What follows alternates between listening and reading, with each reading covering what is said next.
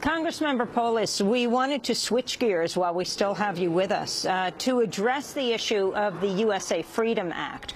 Earlier this week, President Obama signed into law the measure ending the mass phone surveillance program exposed by Edward Snowden two years ago. The Senate passed the USA Freedom Act Tuesday with a vote of 67 to 32. The law stops the bulk collection of telephone records, instead requiring the NSA to ask phone companies for specific users' data rather than vacuuming up all the records at once. Congress Congressman Polis, you initially co-sponsored the legislation but ended up voting against the measure in the House. Can you talk about the USA Freedom Act and your efforts to rein in spying by the Drug Enforcement Administration as well? Yeah, so uh, certainly it's a strong step forward for privacy advocates. I would argue it doesn't go far enough. It leaves much of the Patriot Act intact, but certainly some of the most uh, extreme violations and the uh, mass uh, collection of personal data uh, will no longer be authorized uh, under the Patriot Act. So it's a strong step forward.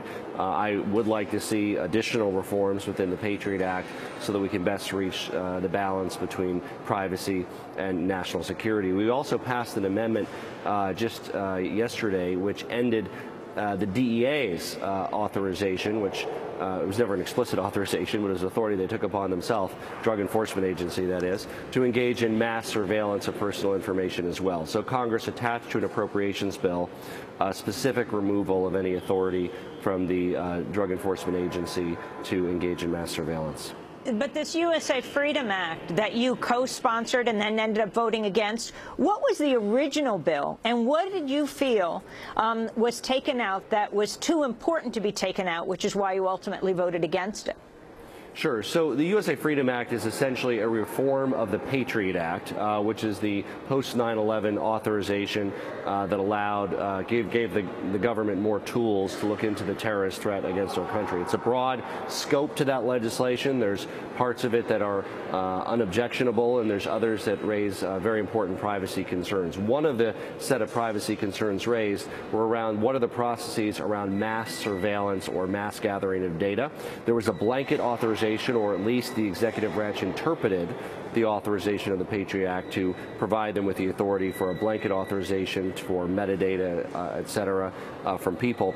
That uh, specific authority has been ended. What, where the bill still goes too far, in my opinion, is it allows for uh, key words to be used uh, for uh, mass surveillance uh, of, of, information that's retained at the phone companies. For instance, uh, a, a, city or geographical term, however specific, it might be the entire state of New York or California or Los Angeles, there's really not any specific legal parameters around this, could still be used in a government request of information that continues to be stockpiled at a uh, at a private company. We would also want to make sure that security concerns are addressed with regards to how companies maintain uh, their databases of our personal information.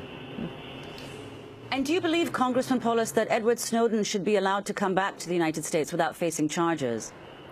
Well, he violated our law, so clearly he uh, would face charges. Uh, I would certainly, I'm, I'm, not the attorney general, but if I were, I think some sort of plea bargain where he would serve some time in prison would be appropriate uh, in, in punishment for his wrongdoings. But I don't see any particular reason why he uh, uh, should have to spend uh, the rest of his life in, in, Russia. I think if there's an accommodation that can be reached where he agrees to serve a term in prison in recognition of his violation of the law, that might be the most appropriate outcome.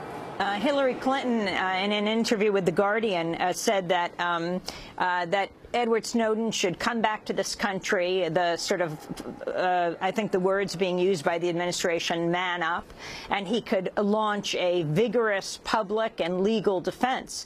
But we see what happened with Chelsea Manning, at the time Bradley Manning. We did not hear his voice in all the years that he was held, that he was tried, now imprisoned for 35 years. Um, when someone is charged with this level of charge, um, it is rare that you can actually hear them. Why would Edward Snowden believe he could I, be heard?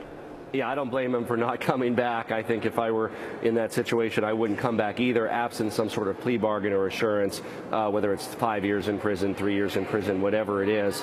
Uh, I, I, think he's worried about coming back and facing the rest of his life in uh, prison and perhaps even at times uh, solitary confinement. We certainly heard about some of the issues with regard to Chelsea Manning. Uh, so uh, I, I, certainly um, understand why he's not coming back and facing an uncertain fate. And last question, as you, I know you have to leave, about fracking. Colorado's a big fracking state. Um, Oklahoma just passed a ban on fracking bans. Maryland just passed a ban on fracking. Um, can you tell us your position in Colorado, what you think should happen around this controversial uh, means of extracting fuel from the earth?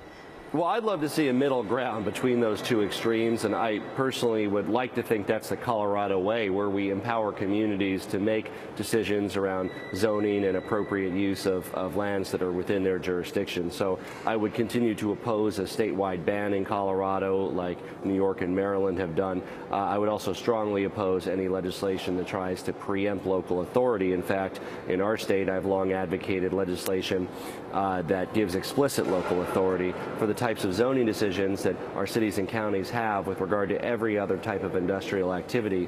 Uh, and I think that they should appropriately have that with regard to fracking activity as well uh, to help protect their communities. Congressman Jared Polis, thanks so much for being with us. Democratic congressman from Colorado, the first openly gay parent member of Congress.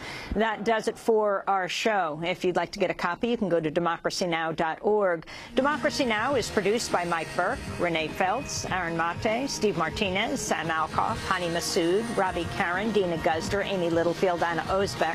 Mike DeFilippo and Miguel Nogueira are our engineers. Special thanks to Julie Crosby, Hugh Grand, David Prude, and Vesta Goodarz, and to our camera crew, John Randolph, Karen Krug Meadows, and Jose Miranda. To watch any broadcast of Democracy Now!, as well as the speech of Evan Young, the valedictory address you weren't supposed to hear, go to democracynow.org. I'm Amy Goodman with Nermeen Shaikh.